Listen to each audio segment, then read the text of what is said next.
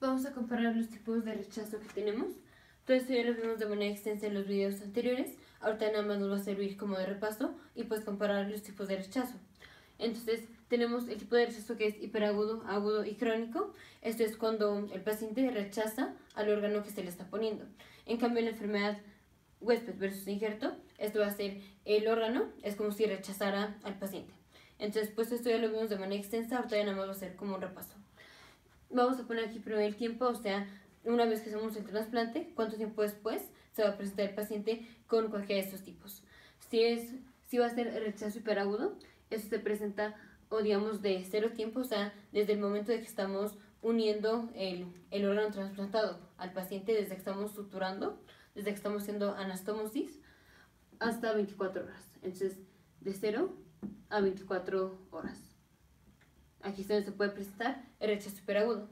El rechazo agudo se va a presentar de semanas, semanas a meses, después de que hicimos el trasplante. Un rechazo crónico se presenta meses a años, después de que hicimos el trasplante. Y la enfermedad huésped versus injerto, esto varía. Obviamente pues no es tan así específico, pero más o menos es lo más común. Vamos con los tipos de hipersensibilidad.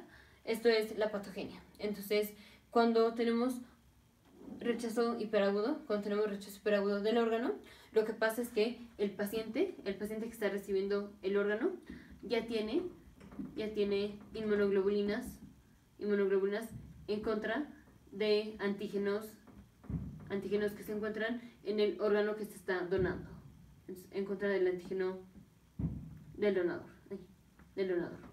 Esto, como son, las, como son inmunoglobulinas, las inmunoglobulinas son las que van a atacar al órgano. Las inmunoglobulinas del paciente son las que van a atacar al órgano que se está rechazando, al órgano que está trasplantando. Y eso es un tipo de hipersensibilidad tipo 2. Recordemos que cuando nada más, nada más los anticuerpos atacan, se llama hipersensibilidad tipo 2. Vamos con la hipersensibilidad de qué tipo de hipersensibilidad tenemos cuando tenemos un rechazo agudo del órgano. Entonces, recordemos aquí, para el rechazo agudo del órgano, teníamos inmunidad celular y tenemos inmunidad humoral. Eso quiere decir que el paciente está rechazando al órgano por medio de las células y por medio de las inmunoglobulinas. O sea, está atacando al órgano por medio de los linfocitos T, CD4 positivos y por medio de los linfocitos T, CD8 positivos puede ser el linfocito TC4 el que esté atacando al órgano trasplantado, puede ser el linfocito TC8 y o pueden ser los dos linfocitos, linfocito TC4 y linfocito TC8. Aparte, las inmunoglobulinas, las inmunoglobulinas también van a atacar al órgano. Entonces tenemos tipo de hipersensibilidad 2, porque las inmunoglobulinas están atacando al órgano, pero también las células están atacando al órgano trasplantado. Entonces esto es tipo de hipersensibilidad 4. Tenemos tipo de hipersensibilidad tipo 2 y tipo 4 para un rechazo agudo del órgano. Vamos con el tipo de hipersensibilidad para un rechazo crónico del órgano. Entonces aquí va a ser muy parecido. Tenemos igual un componente celular y un componente humoral. Entonces en el celular, aquí lo que atacan son los linfocitos T, pero nada más los linfocitos TC4. Y aquí las inmunoglobulinas siguen atacando. Entonces, cuando tenemos un rechazo crónico del órgano, son los linfocitos TC4 nada más, los linfocitos TC4, los que atacan al órgano que se está trasplantando. Este es un tipo 4 de hipersensibilidad porque está mediado por células. En cambio, aquí tenemos igual inmunoglobulinas que están atacando al órgano. Este es tipo de hipersensibilidad 2. Y vamos con la, con la enfermedad de huésped versus injerto. Aquí es el órgano el que está rechazando a todo el paciente y son específicamente los linfocitos del, del órgano trasplantado lo que ataca a todo el cuerpo del, del paciente. Entonces son las células, son las células del donador, el donador, las que atacan al paciente. Esto es un tipo 4 de hipersensibilidad. Tipo 4 porque son las células las que están haciendo el daño. Solo que en este caso son las células del órgano trasplantado las que están atacando a todo el paciente. Como, vamos a ver cómo se presenta cada uno. La presentación para el, para rechazo superagudo, esto va a ser trombosis, trombosis, digamos, generalizada, generalizada de los vasos del órgano trasplantado. Entonces, si digamos vamos a hacer un trasplante renal, aquí está digamos la aorta del paciente, aquí está un riñón y digamos lo vamos a hacer trasplante de otro riñón. Tenemos que hacer anastomosis entre la arteria del riñón que estamos trasplantando y la arteria pues del paciente. Entonces, ¿qué es lo que va a pasar? Los anticuerpos ya formados en el paciente van a atacar al órgano trasplantado. ¿Y qué pasa? Esto va a ser trombosis aquí de las arterias de los vasos del órgano trasplantado. Esta es la arteria que pertenece al órgano trasplantado. Y ya en el video anterior vimos por qué, porque se expone la colágena. Entonces aquí venimos con trombos en los vasos del órgano trasplantado. En el rechazo agudo, aquí lo que pasa va a ser un infiltrado. Vamos a tener un infiltrado. Infiltrado de linfocitos. Un infiltrado mononuclear de linfocitos.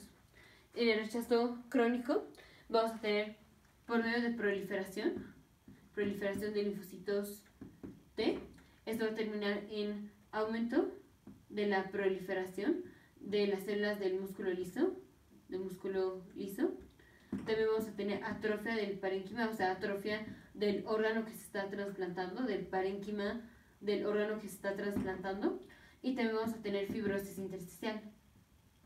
Fibrosis intersticial. Esto es digamos que el paciente hizo un rechazo crónico de este, de este riñón.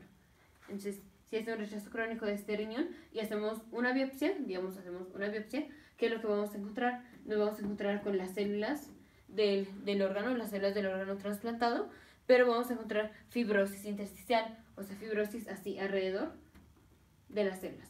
Aparte el órgano pues va a estar más chiquito, va a estar atrófico. Y vamos a tener proliferación de músculo liso. Las arteriolas del, del órgano trasplantado, alrededor van a tener músculo liso. Recordemos que aquí la arteria renal pues da un montón de ramas, que son arteriolas, y las arteriolas contienen músculo liso alrededor. ¿Cómo se va a presentar el paciente con enfermedad de huésped versus injerto? Esto se va a presentar como un rash, rash maculopapular, maculopapular, generalmente de las manos, de las manos y de los pies y parece como si el paciente se estuviera descamando. Aparte podemos tener daño al hígado, entonces daño al hígado se va a presentar con ictericia, se va a presentar con aumento de las pruebas de función hepática, como son las la alanina aminotransferasa, la aspartato aminotransferasa, también podemos tener aumento de la fosfatasa alcalina. Si tenemos daño, daño al tracto gastrointestinal, el paciente va a venir con dolor abdominal, y puede tener melena. Esto es daño al tracto gastrointestinal. Si el paciente tiene daño, digamos, a, la, mm, a los riñones, daño a los riñones, el paciente se va a presentar con aumento de la creatinina, con aumento del nitrógeno ureico, o sea, del blood urea nitrogen, BUN, BUN, y también se va a presentar con orina, orina más oscura, y básicamente esto también puede tener hipertensión. Clásicamente, si un paciente va a ser la enfermedad de huesos versus injerto, o sea, si el órgano trasplantado va a rechazar al cuerpo del paciente, generalmente es cuando el trasplante consiste en un órgano, en un órgano que contenga muchos linfocitos, que contenga muchos linfocitos, como es la médula ósea, médula ósea, o el hígado. Si al paciente le hacemos un trasplante con un, de un hígado o le hacemos un trasplante de la médula ósea, estos son órganos que contienen muchos linfocitos. Entonces son esos linfocitos de la médula ósea del hígado los que pueden atacar a todo el cuerpo del paciente que está recibiendo el órgano. De hecho, esto es, o sea, nos podemos aprovechar de la enfermedad de huesos versus injerto cuando tenemos un paciente que tiene leucemia. Pero esto ya lo vamos a ver en el siguiente video. Entonces, paciente que viene con rechazo hiperagudo del órgano. Eso se va a dar de 0 a 24 horas después del trasplante. Esto se da porque el paciente tiene inmunoglobulinas, ya, ya las tiene, en contra, del, en contra del, del tejido o en contra de los antígenos que encontramos en el órgano trasplantado. Esto se presenta como trombosis de los vasos del órgano trasplantado y es un tipo de hipersensibilidad tipo 2. Paciente con rechazo agudo del órgano se presenta semanas a meses después de que hicimos el, el trasplante. El rechazo lo vamos a prevenir dando inmunoterapia, o sea, dando pues terapia inmunosupresora. Esto se va a dar por un componente celular y un componente humoral. Son los linfocitos TC4 y linfocitos TC8 los que atacan al órgano trasplantado porque lo reconocen como extraño. Y aparte las inmunoglobulinas. Entonces tenemos hipersensibilidad tipo 4 por medio de las células, hipersensibilidad tipo 2 por medio de las inmunoglobulinas. ¿Cómo se presenta esto? Con un infiltrado de linfocitos en el órgano trasplantado. Un rechazo crónico se presenta meses, años después del trasplante esto tiene igual un componente celular y un componente humoral, pero el componente celular ya solo consiste de los linfocitos TC4. Entonces tenemos igual reacción de presibilidad tipo 4 y tipo 2 y vamos a tener proliferación de linfocitos T, que esto termina en proliferación de músculo liso, atrofia del parénquima y fibrosis intersticial. Aparte, pues ya si, si vemos cada órgano en específico, por ejemplo, si vemos el corazón, si hubiéramos hecho un trasplante de corazón y rechazamos al corazón de manera crónica, vamos a ver muchísima, pero muchísima aterosclerosis. O sea, el paciente va a venir con muchísima placa de ateroma, que es otra cosa muy característica del rechazo crónico al órgano.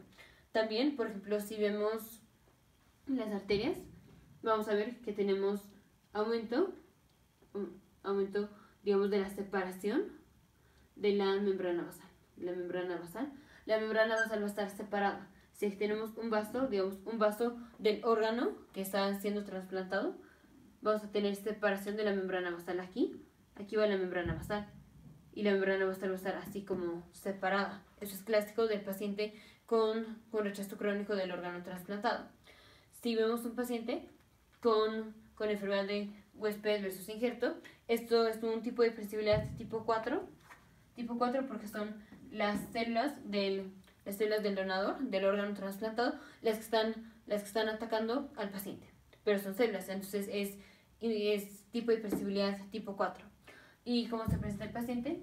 Con un rash maculopapular, generalmente de los pies y de las manos, que parece como si el paciente se estuviera descamando. Tenemos, podemos tener daño al hígado, donde tenemos aumento de la aspartato aminotransferasa, de la alanina aminotransferasa, de la fosfatosacalina. Puede tener ictericia, si tiene daño renal, va a venir con hipertensión, con aumento del nitrógeno ureico, con aumento de la creatinina, con disminución de la tasa de filtración glomerular. Si tenemos daño al, al tracto gastrointestinal, el paciente va a venir con dolor abdominal y puede tener melena.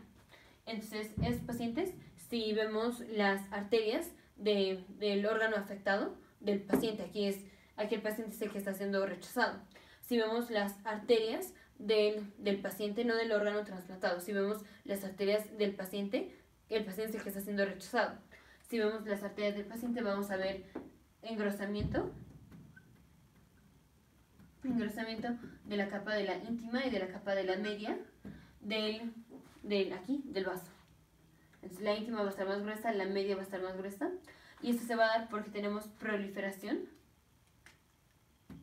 Tenemos proliferación de los fibroblastos. Son los fibroblastos los que hacen que se haga más más gruesa la íntima y la media. Pero aquí no vamos a tener placa de ateroma. Aquí, en la enfermedad de hueso versus injerto, no hay placa de ateroma. No hay placa de ateroma. Nos vemos en el siguiente video.